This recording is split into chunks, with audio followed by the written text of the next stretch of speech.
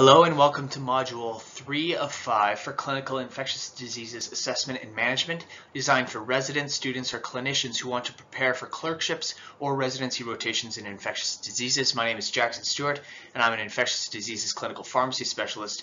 In this module, we're going to focus on reviewing the most common bacterial infectious diseases, with specific emphasis on the most common pathogens that are implicated, the common clinical presentations, and some management tips. These details in combination with the knowledge we've accumulated in modules 1 and 2 will help us apply a systematic approach to infectious diseases in modules 4 and 5. Specifically, we'll create an overview of the most common bacterial infectious diseases from a head-to-toe approach and highlight specific diseases with a focused review. Next, we will discuss how we may begin differentiating between infections caused by viral or bacterial pathogens, which is an important skill when selecting treatment options. Lastly, we'll touch on some very important concepts in source control and host immunity, which are some of the most important factors predicting antibiotic treatment success or failure. Remember, an important difference between how ID-trained clinicians and non-ID providers think about antibiotics is that we consider antibiotics by thinking about the specific pathogens we believe are involved, rather than pairing antibiotics just by disease. The relevance of discussing the disease is not only important for correct diagnosis, but also for becoming familiar with the most common pathogens implicated in each disease, which is the most important detail when considering antibiotic choice. Focus on this detail during our discussions of common bacterial infections. As with previous modules, the purpose of this session is to discuss the most common bacterial infections that 95 plus percent of inpatient providers will encounter and become involved in with regards to infectious diseases. In this way, this review should prepare you for most cases that you will see in real practice, but cannot replace the value of the internal medicine ID subspecialty service. We will not cover outpatient bacterial, viral, fungal, or other complex infections, and you should become comfortable asking your expertise service for advice advice when needed. Before getting into an overview of bacterial infections, I want to discuss the concept of duration of therapy that you'll see with regards to antibiotic treatment for a disease. You may have noticed that guideline endorsed durations of therapy for infections often conveniently land on perfect Gregorian calendar weeks like 7 to 14 days, or land on neat clusters of days like 3, 5, and 10 days. Why is it never something like 6, 8, or 9 days? What this should be telling you is that these durations of therapies are not scientifically determined to be exactly necessary, but rather are placeholder durations that are traditionally used that have yet to been studied for shorter durations. In fact, every few years a new study comes out which confirms something we already know for various diseases that we can probably use shorter durations than we have been. For example, 7 days versus 14 days for uncomplicated gram-negative bacteremia. That said, when thinking about using existing durations of therapy, a good clinician thinks critically about those stated ranges and applies them specifically to individual patient cases. Think of this example of a prosthetic valve endocarditis prescribed a treatment course of six weeks of therapy. Ask yourself, could this patient do five weeks and six days? Does the one less day compromise the efficacy of the treatment? Providing treatment courses in durations less than recommended without good data should be seen as probably providing suboptimal treatment, but in cases of treatment toxicities or other barriers, we should think critically about the durations we prescribe for individual patients. An important part of the assessment for any infectious disease is the recognition of both common features of infection, i.e. constitutional features that are shared amongst several infections, and localizing features of infection, which provide hints and evidence for specific infections. Being able to produce lists mentally while assessing infections not only builds the evidence we need for infectious diagnosis, but also provides us with monitoring parameters that we're going to use when we're monitoring our treatment plans. Common features of infection include constitutional symptoms like fever, chills, rigors, which refers to shaking, often visible and intense, a common feature of true bacteremia, malaise, fatigue, nausea, vomiting, as well as night sweats. Vital instability is a feature that may represent more of a sepsis picture, but remember that the sepsis definition requires organ dysfunction. After we assess for signs and symptoms, via blood work we can notice a leukocytosis, which could be neutrophil dominant if bacterial, as well as elevations in acute phase reactants such as C-reactive protein and ferritin. Remember, even fever alone is not evidence enough for definitive diagnosis of infection, but certainly a collection of these common features should be building the case that we should be looking for an infectious diagnosis. Localizing features are those which hint to a specific infection in particular, for example, warmth, erythema, and tenderness for a skin soft tissue infection, or lower urinary tract symptoms like dysuria frequency and suprapubic heaviness for a cystitis. Whereas blood work is rarely revealing for a specific source of infection, diagnostic imaging findings can be indicative of infection in this way. In particular, rim-enhancing lesions for abscesses or fat stranding seen on CT scans of the kidney for pyelonephritis. No single feature is enough to confirm infection, and when there are discordant features, a good clinician should be able to justify their gestalt judgment on the probability of true infection. So now that we know some general features of infectious diseases presentations, let's practice generating a list of infectious diseases in a head-to-toe fashion, such that in a patient who presents with common features of infection, we could begin to create a thoughtful approach to further investigation. Starting with the head, brain and CNS infections are certainly possible, the most common being meningitis, an infection of the meninges, and encephalitis, inflammation of the brain parenchyma. Abscesses can also appear within the brain parenchyma, and pyogenic collections can appear within the meninges, for example, a subdural empyema, or outside of the meninges, an epidural abscess, which would not technically count as a true CNS infection. We'll cover these in a bit more detail. Lower down in the upper airway system, we can see various infections, commonly viral, including nasopharyngitis, rhinosinusitis, and acute otitis media, which are typically outpatient infectious diseases well managed by family physicians or are self-limiting. Rarely, complicated infections can arise here, for example, malignant otitis externa eh, and bacterial mastoiditis. Further into the lower airway, the most common infections encountered in the inpatient setting is pneumonia, which comes in many forms. Much less commonly, tracheobronchitis can be infectious uncommonly via intubated patients, and lung abscesses or pleural empyema can complicate pneumonia cases. In the heart and bloodstream, bacteremia from many sources can occur and secondarily result in infective endocarditis, depending on the organism, an infection of the heart valves that is a very common cause for infectious diseases consultation. In the GI tract and biliary tree, cholecystitis and cholangitis are probably the most common intra-abdominal infections, with self-limiting viral gastroenteritis being common in the outpatient setting. In the colon, diverticulitis is common as well as Clostridioides difficile infection, which is a major cause of hospital-acquired infection. Peritonitis is a common infection with several varieties we will discuss as well. The urinary tract can be commonly affected in several places. The bladder, cystitis, the kidney, pyelonephritis, or the prostate, prostatitis. Sexually transmitted infections can be discovered in the inpatient setting, but are commonly non-acute and can be treated out of hospital. Lastly, on the skin, cellulitis is the most common infection, although through the skin, line-related bloodstream infections are commonplace in the hospital. The bones and joints are also a common site of infection, including septic arthritis in the joint and osteomyelitis of the bone. Practice identifying all these infections in a head-to-toe fashion to assist when you're looking for localizing sources of infections when suspected. As discussed in Module 1, Several organisms are well known to cause nosocomial infection, that is, hospital-acquired infection. However, when nosocomial infection is suspected, a few types of infections are much more common than others. For example, let's take a case of a 76-year-old male who is admitted for heart failure, post-admit day 13. The patient is recovering well and is almost ready to be discharged, but develops a temperature of 38.5 and a small leukocytosis of 14.1 up from 8.1. When approaching this case, instead of looking head to toe for every single possible known infection like otitis media, which is incredibly unlikely the cause of this, which specific infections should we be focusing on? In the hospital setting, four infections are much more common than others. These are one, line-related or catheter-related bloodstream infections related to intravenous access, two, C. difficile infection, recognizable by new and profuse watery diarrhea, even if not on antibiotics. Three, catheter-related urinary tract infection if a Foley catheter is in place. And least commonly, number four, hospital-acquired pneumonia. By knowing these common nosocomial infections, our assessment process can be more focused and directed for inpatients with new fever before looking for less common sources. First, let's discuss some common CNS infections. Remember that the CNS is normally sterile. Bacterial appearing in the site is atypical and requires investigation.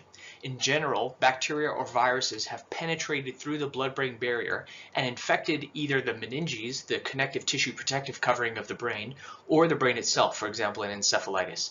These organisms are then found in the cerebral spinal fluid or CSF, the fluid cushioning the brain and ventricles. Inflammation of these sites is what produces symptoms in these cases. The question is, how did it get there? Young children in particular who have an immature blood-brain barrier are among the most frequently implicated, with organisms originating from the sinuses via contiguous spread to the CNS. Adults and others who are immunocompromised could develop a CNS infection, particularly when infected with a virulent strain of pathogens such as Streptococcus pneumoniae or Neisseria meningitidis. Those with surgical portals into the CNS, so for example post-neurosurgery, can develop a brain infection called ventriculitis involving the brain tissue surrounding the inner ventricles. The two main CNS infections that all providers should know are meningitis and encephalitis. In particular, it is useful to be able to tell them apart since the treatment is very different and involves targeting bacteria versus viruses in many cases we should remember the cardinal triad of meningitis symptoms, headache, fever, and stiff neck or nuchal rigidity on exam, which is enough clinical evidence for the working diagnosis of meningitis. Encephalitis, on the other hand, could present with fever and headache, but typically involves seizure, altered level of consciousness, or some other focal deficit. These are distinct enough that one can begin to tell these apart based on early histories taken in the hospital. Further, typical pathogens in meningitis include those which spread from the local sinuses and upper airway. Remember those from our microbiota we memorized in Module 1, namely Streptococcus pneumoniae, miscellaneous gram-negatives like Haemophilus and Neisseria species. Whereas viruses are the primary cause of encephalitis, including herpes viruses, enterorhinoviruses, West Nile virus, and others, depending where it was acquired. So already we're thinking that antibiotics are probably justified or definitely justified for meningitis, but probably not for encephalitis. Notice as well that the three most common bacteria that cause meningitis are the ones that we vaccinate all children for. Diagnostically, there are important differences via CSF analysis which can be obtained via lumbar puncture that you need to be able to evaluate. Here is how we can interpret a CSF analysis simply. First, with a suspicion of a CNS infection, a lumbar puncture may be obtained if possible, although there are some contraindications. In the CSF analysis, we would expect an abundance of inflammatory cells if a real infection was present, so an elevated total nucleated cell count is indicative of an infection of any variety. Even if antibiotics were given prior and cultures were sterilized, I would still expect an elevated total nucleated cell count. Next, if there was an elevated TNC, the next question is what type of white blood cell was elevated? This is our next hint to the etiologic pathogen. If the TNC is neutrophil dominant, we expect either a bacteria or a fungal pathogen, although fungi are very rare. If lymphocyte dominant, this is typically indicative of either an early viral infection, but possibly also of a late bacterial or other type of infection. Lastly, and least importantly, a low glucose and high protein might be another clue for a bacterial infection, whereas normal glucose and high protein could be indicative of viral or other infections. Remember, we put all these details together for an appropriate summary assessment and should not anchor on one assessment point alone. Briefly, other common infections involving the peri-CNS space include the epidural abscess, which is a non-CNS infection outside the meninges, commonly caused by local spread of infection from the vertebrae or hematogenous spread via the bloodstream. And a subdural empyema is an abscess-like collection beneath the first layer of the meninges that can be due to injury or neurosurgery. In both cases, complete treatment would necessitate some form of drainage to remove the infected material, but long durations of antibiotics, for example six weeks, are typically provided. Whereas for meningitis, since there is often no discrete collection of abscess or pus, antibiotics alone are often enough for cure, and treatment can be shorter, often 7 to 14 days, depending on the specific organism being treated.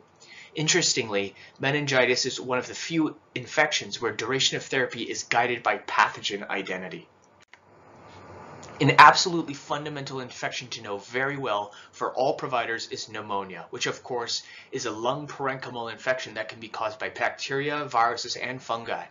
We're learning to think like an ID clinician. Today we will learn how to be much more specific about pneumonia and what is causing it, which can be done to better select antimicrobial treatment for your patients. Importantly, although pneumonia can be simple and cause infection of the alveoli and interstitial space, untreated and with certain virulent pathogens, pneumonia can evolve into causing bacteremia and sepsis, local spread into pleural space infection and empyema, or the generation of discrete lung abscess, all of which change treatment and strategy duration. Pneumonia is ubiquitous worldwide, and all patient demographics are susceptible in some ways, although some are more likely in particular those patients with pre-existing structural or chronic lung diseases like COPD, bronchiectasis, and cystic fibrosis, or the very young and older adult patient population.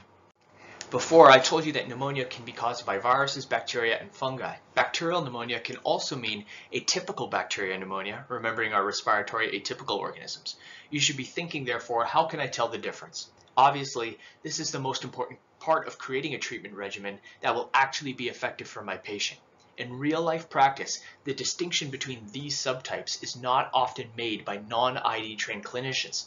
Here we will discuss how to tell the difference so that you can choose the best treatment. Keep in mind that when a patient first presents, their symptomatology and history may be vague and unclear, but after 24 to 48 hours, all of these details are typically available, so you can revisit and specify your pneumonia diagnosis. First, let's distinguish true pneumonia from pneumonitis, which is a chemical inflammation of the lungs that is not related to infection.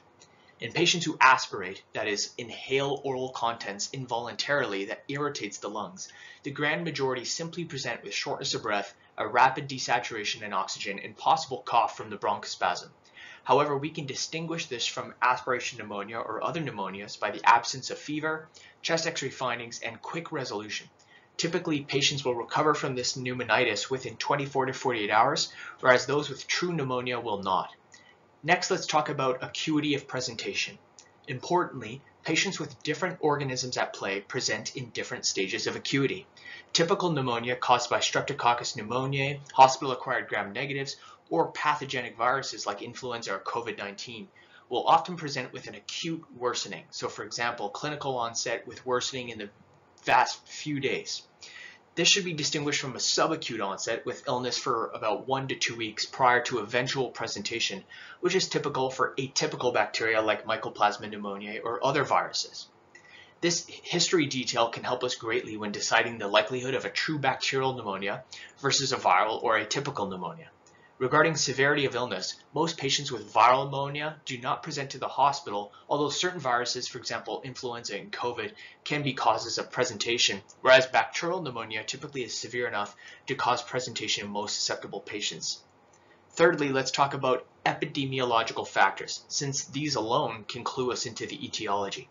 Patients with typical bacterial pneumonia either are infected suddenly without sick contacts or can present as a secondary infection, i.e. double sickening, where previously recovering from a viral pneumonia or infection, they then suddenly became much worse. In cases of viral pneumonia, classically, patients may be aware of sick contacts, i.e. they knew that they had contact with a person who was known to be sick. The important distinction here can often tell us the difference alone. Patients who develop a hospital-acquired pneumonia by definition have symptom onset after 48 hours of being an inpatient. Earlier than this would be considered community-acquired. Lastly, aspiration pneumonia patients are often known to have some history of difficulty swallowing or some nervous system dysfunction which compromises their ability to protect their airway from aspirating oral contents. Lastly, after assessing the above, our last useful tool is the chest x-ray or imaging findings. Findings are different depending on the etiologic pathogen, specifically with a lobar or single unilateral infiltrate being typical for bacterial pneumonia like a streptococcal or hospital-acquired pneumonia, whereas a bilateral patchy interstitial pattern is common for viral or atypical bacterial pathogens. This difference is reliable in context, for example, of COVID-19. Aspiration pneumonia may present with chest x-ray findings depending on how the contents were aspirated and the patient's positioning, but should reveal some infiltrate indicative of contents aspirated. Like all assessments, no one piece of this assessment should be relied on to achieve the diagnosis, but a collection of all these pieces together. This takes practice, so let's try a case together. Our example is a 31-year-old female presenting to the ED with a seven-day history of fevers, chills, myalgias, and headache. Over the last five days, she's developed a cough, shortness of breath, and chest tightness. Her white count is 10.3, and she reports that her daughter has the same symptoms but are less severe. On physical, she has fine crackles in both upper lobes, and a chest x-ray shown on her right demonstrates some patchy airspace opacities bilaterally, perhaps worse on the left than on the right. Your supervising attending asks you, what dose of ceftriaxone and azithromycin should I use? So what would your answer be? Pause the video if needed to consider what is really going on and what treatment is justified.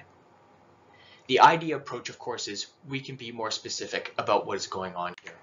The case continued, you advocate for microbiologic testing to confirm what we think is going on, which is a viral pneumonia.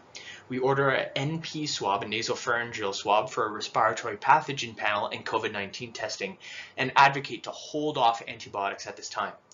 Testing returns within a few hours as nucleic acid testing positive for influenza A virus.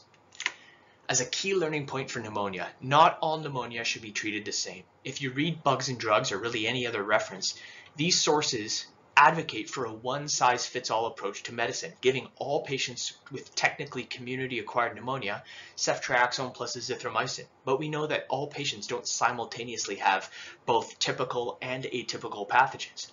Clue into details into the patient's history, physical, and chest imaging to be able to tell the difference, and we will be able to actually provide the best treatment for our patients. For reference, this is a lobar pneumonia on the right side here. Ask yourself, does a patient with this lobar pneumonia need both ceftriaxone and azithromycin, or just ceftriaxone, or even just ampicillin, if this is most likely streptococcal? So you should be thinking critically for yourself. Even if you're new to infectious diseases, you've almost certainly heard of the term sepsis and maybe heard the outdated and irrelevant term septicemia used in movies. However, it's important that we straighten out exactly what these words mean. Bacteremia, literally bacteria in the blood, refers to the presence of bacteria in the blood, which can be asymptomatic and possibly even irrelevant, for example, if it was a contaminated sample. Whereas sepsis refers to an exaggerated and inappropriate immune response to infection, which by definition results in organ dysfunction. There have been a variety of changes to the definition of sepsis over the years, with the term septicemia being retired and no longer used in modern practice. Sepsis used to be related to SIRS, or Systemic Inflammatory Response Syndrome, which involved vital instability, but obviously this definition was too loose and patients without any infection often met criteria for sepsis. The new Surviving Sepsis Campaign definition refines this to a source of infection plus immune response causing organ dysfunction. Bacteremia may be the cause of sepsis, but just like any other infection, although minor infections like cellulitis or strep throat are very unlikely to cause sepsis. However, when we identify bacteremia, we should always be considering where did the bacteria come from. This will be critical for treatment because you can kill the bacteria with antibiotics, but if there's a persistent source of bacteremia, this will simply band-aid the problem until antibiotics are stopped. Sepsis, on the other hand, requires antibiotics to fix the infection component, but the immune response and life-threatening organ dysfunction component is often managed with a combination of fluid resuscitation and vasopressor administration. Infectious treatment will be targeted against the identified source. It is important to emphasize the importance of fixing the source of bacteremia, particularly when it is a trigger for sepsis. Luckily, now that we've memorized our need-to-know bacteria and our head-to-toe microbiota in Module 1, we can predict the source of the bacteremia based on the identity of the bacteria. Remember, bacteria will usually cause infection from a source relative to where they live normally as commensals.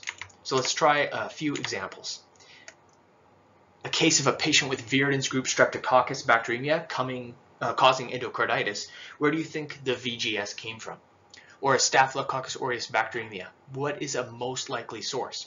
If you found Clostridium septicum in the blood, where would you go looking for the index infection? And finally, for Stenotrophomonas, what places might you consider? For VGS, remember, it is a normal part of the oral and GI tract microbiota, so I'd look for bad dentition. For Staphylococcus, it's a normal skin commensal, so I'd look for a really bad skin infection or an infected IV line.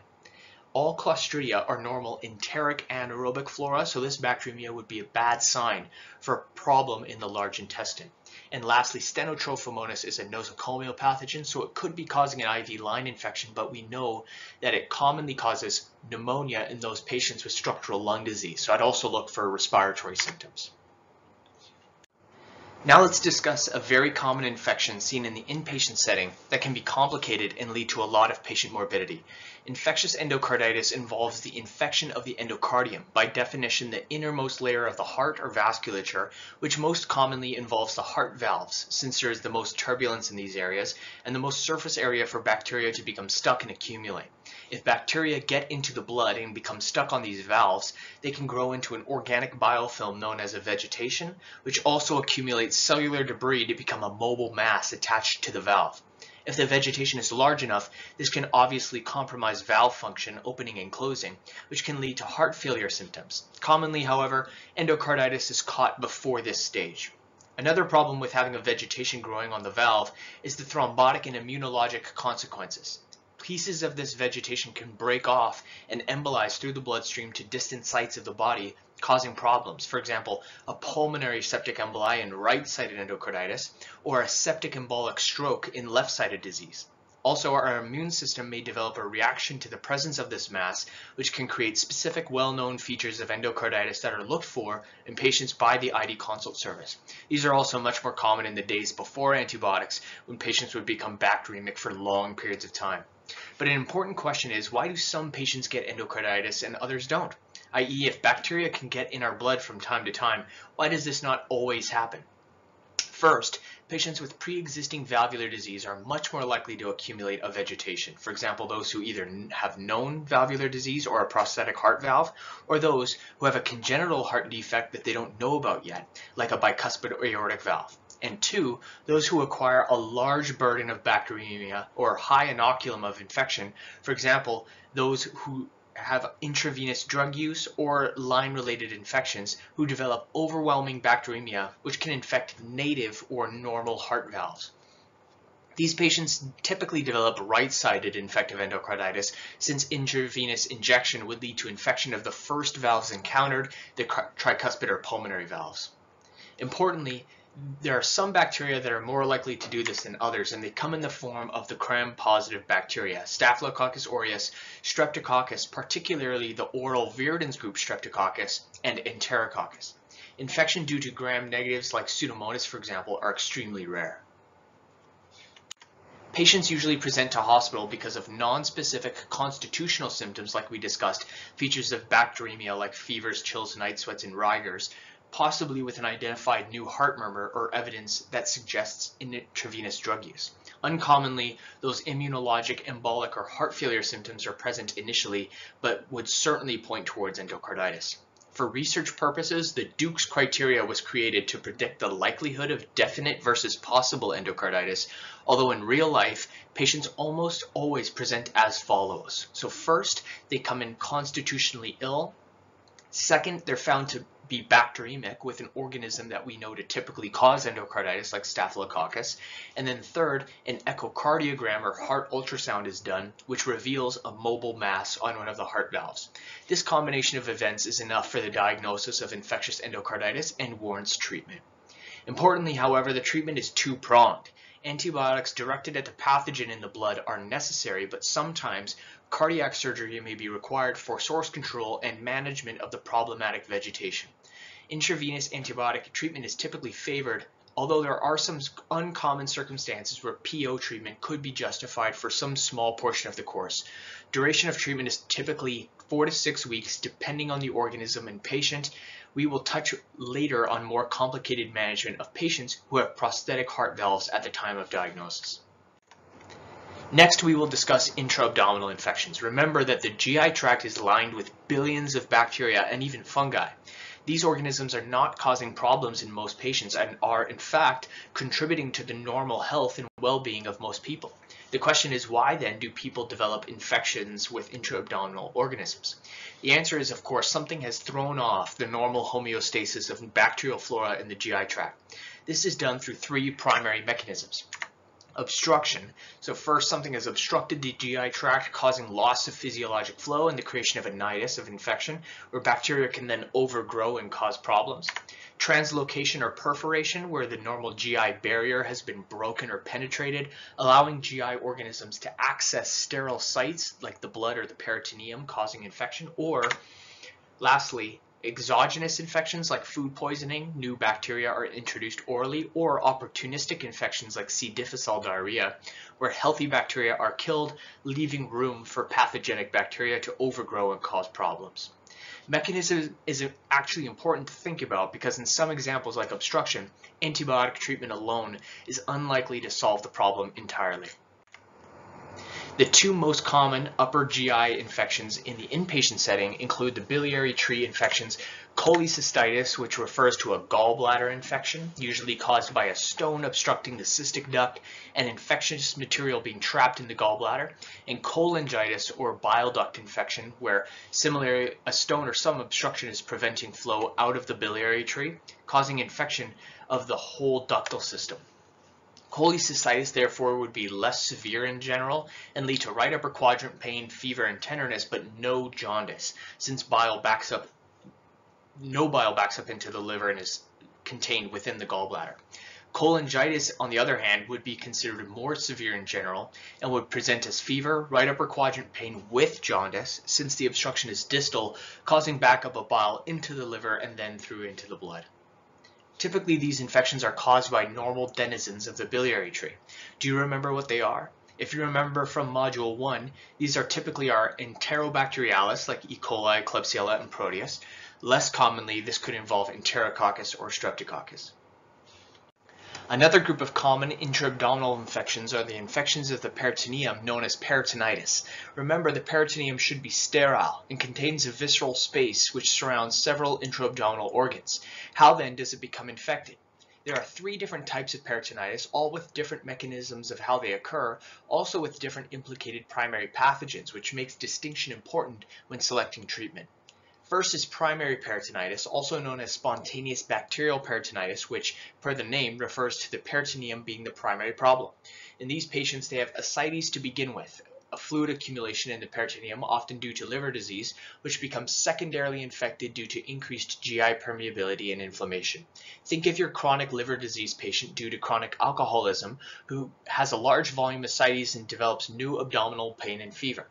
These patients often have infection with a single pathogen, often E. coli or other GI enterobacterales.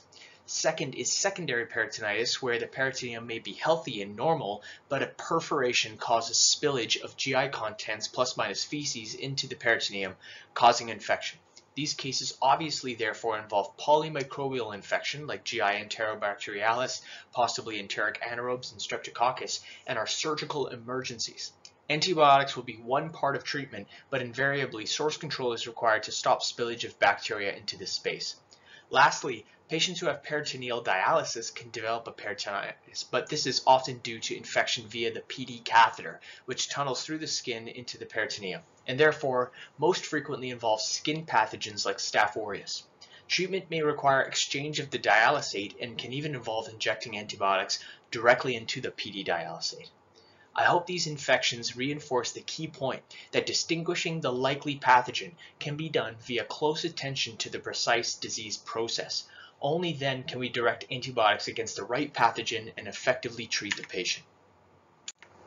Importantly, the type of abdominal pain seen in patients with peritonitis is sometimes different than the abdominal pain seen with other problems. Classically, peritonitic abdominal pain involves diffuse abdominal pain, non-localized, including involuntary guarding, i.e. the patient involuntarily protects their abdomen from palpation, and rebound tenderness.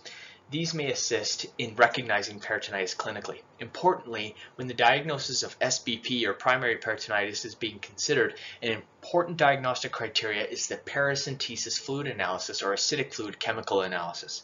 Just like with our CSF analysis, what would you expect to be in the paracentesis fluid if this was truly infected?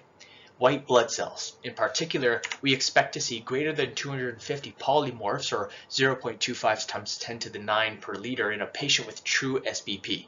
This might be shown as an overall white blood cell count with a neutrophil percentage, requiring you to do some simple math to find the neutrophil count. We'd also expect to see bacteria in this fluid, and bacteria obtained this route can be sent for culture and susceptibility testing. Importantly, draining bacteria through these taps is actually a part of the treatment as well, or source control, and can help patients feel better much faster. Urinary tract infections are very simple, where depending on the organ involved in the urinary tract, different infections occur which cause different symptoms. However, non-ID providers unfortunately inappropriately refer to these simply as UTI, which is not helpful in clinically distinguishing what is exactly going on and can lead to error in diagnosis, especially when there are multiple problems occurring. Importantly, bacteria, as we discussed, can be found in the urine normally. This is referred to as asymptomatic bacteriuria. We discussed in Module 1 how bacteria can contaminate or colonize the urine due to close proximity to the GI tract, our Enterobacterales or Enterococcus. However, this may not be consequential and actually require no treatment. Unfortunately, asymptomatic bacteriuria is still treated inappropriately today, and more work is required to educate providers on the harms of treating this harmless problem. More importantly, in medicine, it is still erroneously taught that delirium is caused by UTI. Think about that for a minute. Is there a biologically plausible reason why urinary tract infection, but not other types of infection, could lead to delirium? Further, do you realistically suspect a cystitis, a bladder infection, to cause as much of a systemic problem as a pyelonephritis?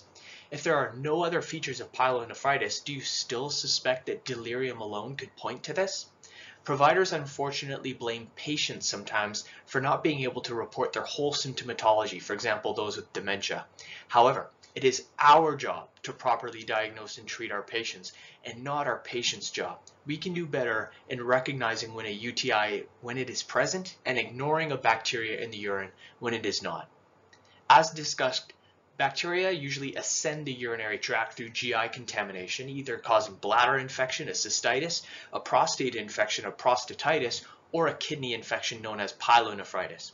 These infections do not commonly occur simultaneously. Importantly, patients who are chronically catheterized via urethral Foley catheter can get infection that originates from chronic colonization of the catheter with GU tract access.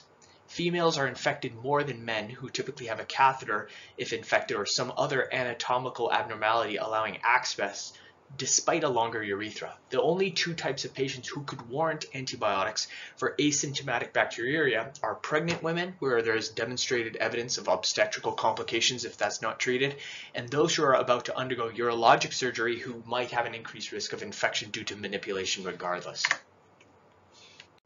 Distinguishing the different UTIs apart can actually help us clinically, not just for treatment selection and duration, but also when the diagnosis is uncertain. For example, a patient with delirium is unlikely to have cystitis since it usually does not cause systemic features and mostly is local only. The worst UTI is the infection of the kidney or pyelonephritis, which causes all the shared features of a UTI or lower urinary tract symptoms such as dysuria or burning with urination, frequency, urgency, and possible incontinence. These should be routinely present in all urinary tract infections. Specifically, Pyelonephritis also presents with more systemic features due to connection to the bloodstream like a fever, a leukocytosis, and other constitutional features. Locally, costovertebral angle tenderness, which is the interface between the rib and the vertebrae, or CVA tenderness, which can be identified on percussion or on history if a patient reports flank pain, is much more indicative of a pyelonephritis and can be present even in patients who have trouble remembering their daily symptoms. Pyelonephritis is historically treated for longer than cystitis and can be treated with oral agents. If a patient is not improving with treatment after 48 to 72 hours, it may be reasonable to look for a renal abscess which can grow in a patient and require surgical drainage. The least severe UTI is the bladder infection cystitis, which presents with lower urinary tract symptoms but also suprapubic heaviness and tenderness. Commonly, some patients may have a reason for urinary retention as well.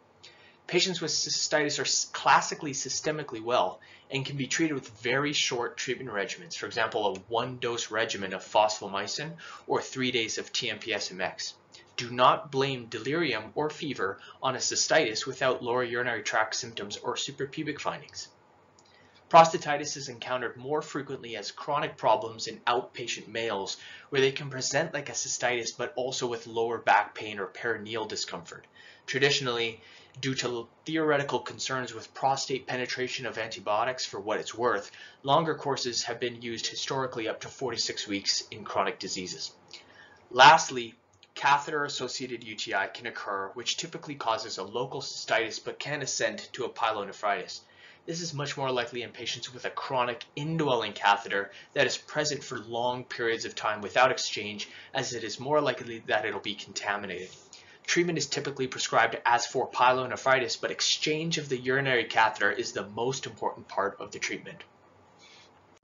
The last group of infections we'll discuss are the skin and bone and joint infections. Skin infections are much more commonly encountered in the outpatient setting and typically come in varieties that depend on the depth of infection. Impetigo involves the outermost layer of the skin and appears as yellow crusting with erythema, commonly in pediatrics that is easily managed as an outpatient with antibiotics.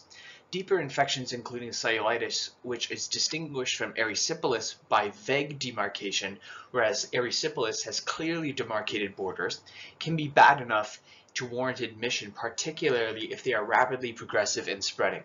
Commonly, cellulitis is caused by some portal or wound which allows penetration of skin bacteria, mostly Staphylococcus aureus and group A strep, to penetrate into deeper tissues. A distinction that ID clinicians make is between purulent and non-purulent skin infections, where purulent infections involving fluctuance, abscesses, and drainage are notably caused by Staphylococcus aureus dominantly, and non-purulent infections, i.e. none of the above, particularly also with lymphangitic streaking along the skin, are caused mostly by group A streptococcus or streptococcus pyogenes. This distinction helps with treatment selection. Depending on the severity, we either can also use oral antibiotics immediately or step down quickly to PO antibiotics to finish a course of as short as five days of antibiotics. Necrotizing fasciitis is a specific type of infection where depth may reach into the subcutaneous fat and musculature. The key distinction is with the presence of exotoxin-producing bacteria, predominantly group A strep, which causes tissue necrosis and destruction due to the toxin effect on local structures. This is a medical and surgical emergency, which requires source control aggressively with plastic surgery to debride infected tissues and remove dead musculature and fascia. Clindamycin, as previously stated, can be used in adjunct to beta-lactams for necrotizing fasciitis for its theoretical antitoxin effect. Although this is an unproven method, it is warranted due to the severity and morbidity associated. Clindamycin is usually stopped as soon as the patient is stable, which can be as short as 48 to 72 hours. Importantly, there are many skin mimics of cellulitis which have some features but not all features of true infection.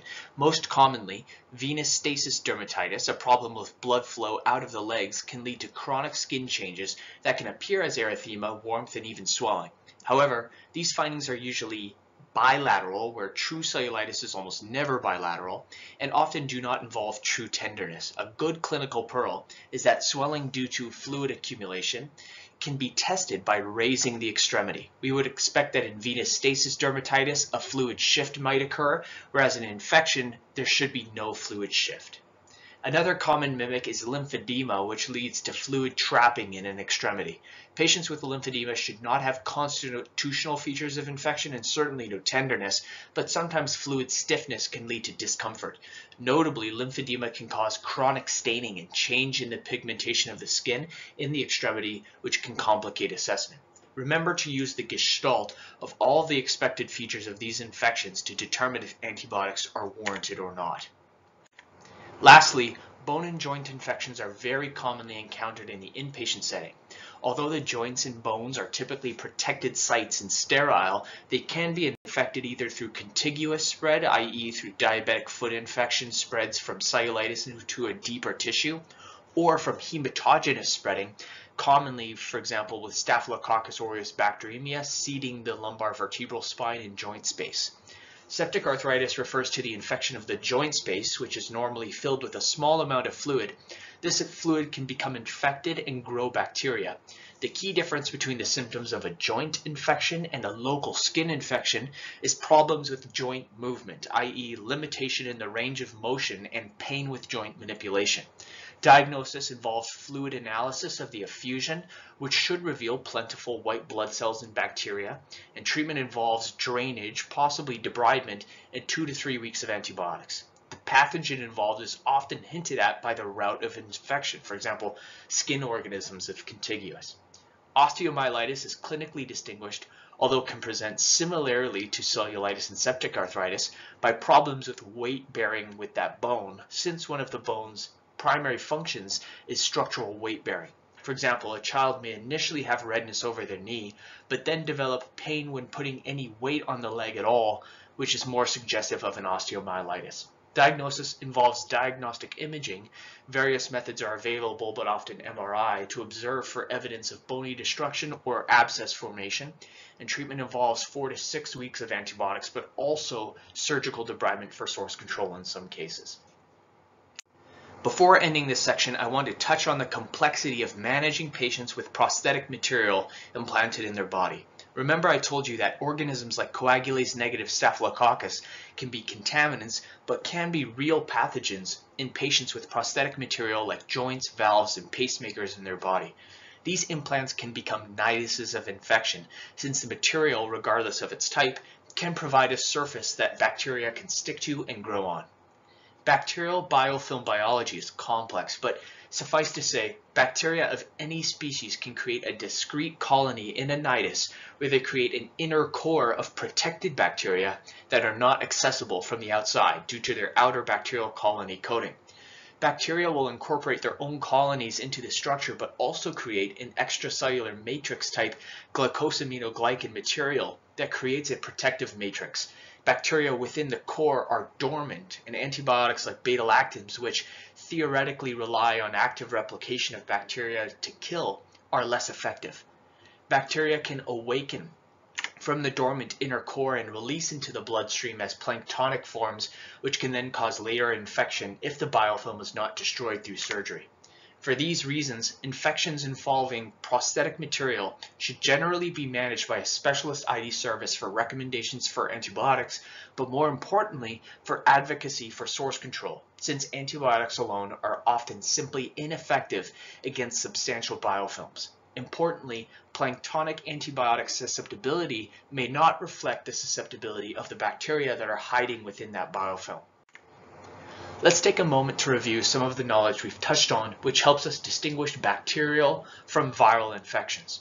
Remember that bacterial infections are generally more severe, have more prominent constitutional symptoms, and are not dependent on the time of year. In addition, patients with bacterial infections often do not have sick contacts, but in some cases it may be discovered that several patients became sick at the same time. For example, five people eating at the same restaurant all become sick at the same time. It's probably bacterial food poisoning.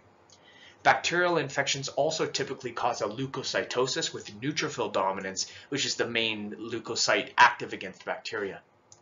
Viral infections typically are less severe, but are probably seasonal, i.e. worse in winter with crowding and other mechanisms, but also have patient histories with sick contacts. So for example, they say that somebody else was sick first, and after exposure to that person, our patient is now sick.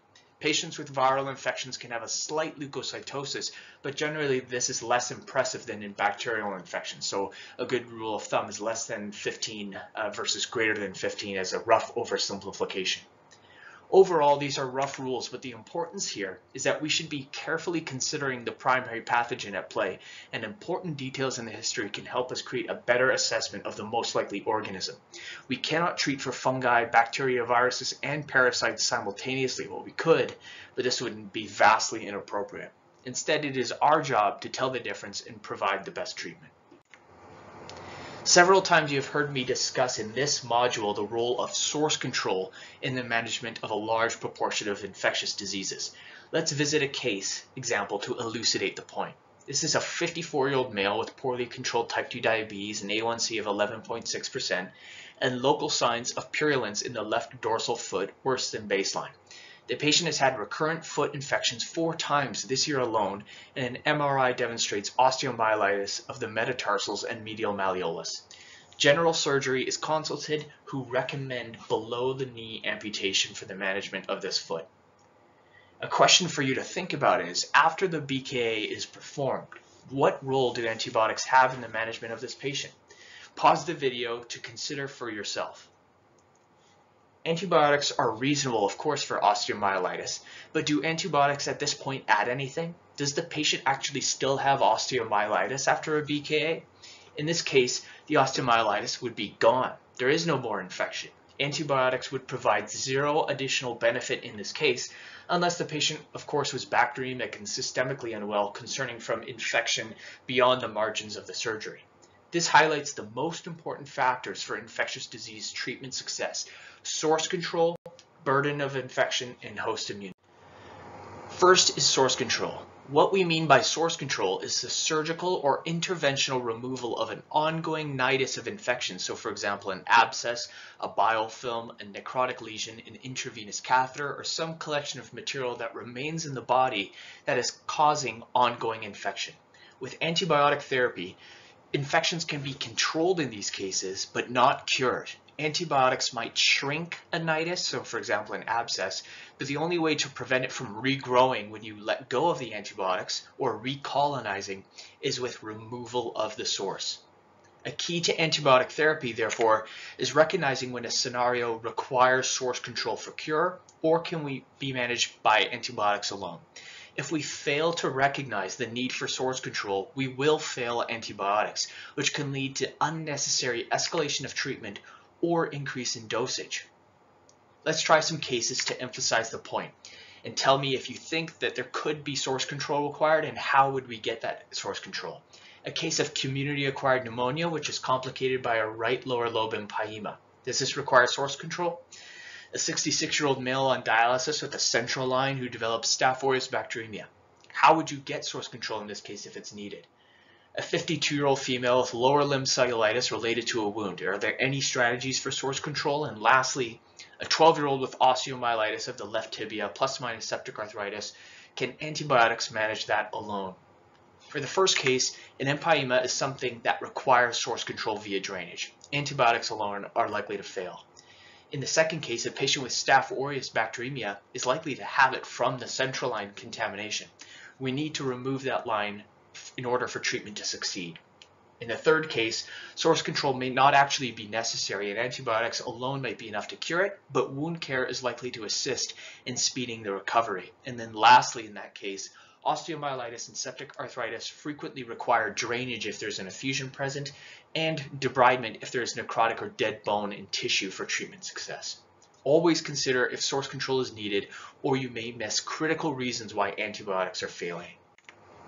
Lastly, host immunity and infectious diseases in immunocompromised hosts are an expertise topic of transplant infectious diseases subspecialty service and are beyond the scope of these modules. However, it's important to distinguish patients who are slightly immunocompromised, who have a slightly increased risk of normal infections like patients with diabetes or renal disease, versus patients who are truly immunocompromised, like patients post-transplant, cancer patients or HIV positive patients who have increased risk of infection, but can also develop abnormal infections with organisms that don't normally cause disease or do so asymptomatically in most patients. Profound neutropenia and prolonged neutropenia, i.e. an absolute neutrophil count of less than 0.5 for greater than 14 days, places patients at risk of strange and abnormal infections. These cases truly warrant specialist infectious diseases consultation. However, for all providers, it is important to recognize that one, patients can fail appropriate antibiotics for infections because of profound immunodeficiency. And two, when a patient is suspected of being immunodeficient, don't stop there. Ask yourself, why are they immunodeficient? And specifically, what is wrong with their immune system? I.e., do they have a lymphocyte deficiency or a neutrophil deficiency or something else? Depending on the reason, we see specific infections being caused in these special populations. With that, we have finished the three core fundamental modules for infectious diseases assessment and management, covering many details regarding common bacterial infectious diseases that most providers will be involved in in clinical practice. Please re-review this material as many times as needed to reinforce these core principles in infectious diseases. We will take all of this knowledge to Module 4, where we will apply the knowledge in a systematic approach you can use for any infectious diseases case you encounter. References are provided for support of content and additional reading if interested. Thank you for watching.